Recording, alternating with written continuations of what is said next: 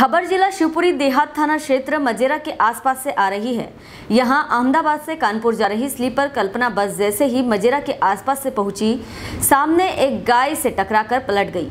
घटना सुबह सात बजे के लगभग की बताई जा रही है। सूचना मिलते ही देहात थाना टीआई विकास यादव भी तत्काल मौके पर पहुँच गए और 108 एंबुलेंस बुलवाकर घायलों को जिला अस्पताल चिकित्सालय पहुँचाया। हालाँकि बस में बैठी सवारियों को मामूली चोटें आई है लेकिन महेंद्र पाल का पैर बस में फंस गया था।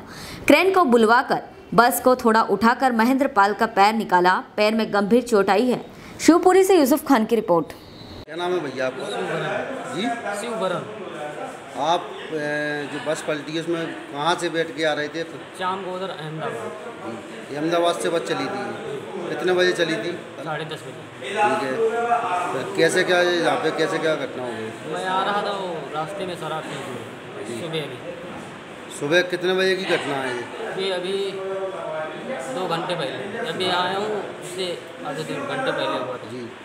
तो कोई बस में कोई जानवर वगैरह टकराया कि मतलब जैसे ही? ये जानवर एक गाय मर गई। अच्छा। मैं सो रहा था। अच्छा अच्छा अच्छा। मैंने पूरा देखा नहीं।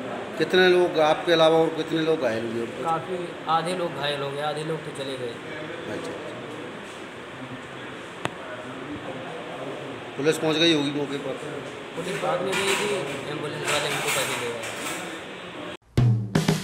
हेलो फ्रेंड्स आप देख रहे हैं हमारा channel S W twenty four news हमारे सारे वीडियो सबसे पहले देखने के लिए आप हमारे चैनल को सब्सक्राइब करें और पास में लगे बेल आइकन को दबाना बिल्कुल भी ना भूलें।